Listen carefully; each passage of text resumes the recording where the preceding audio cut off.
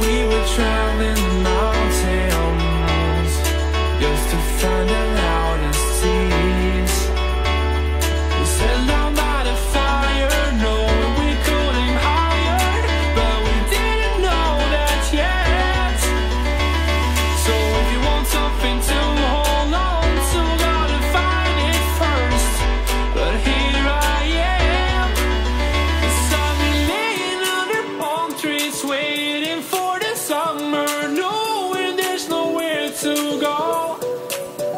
inside.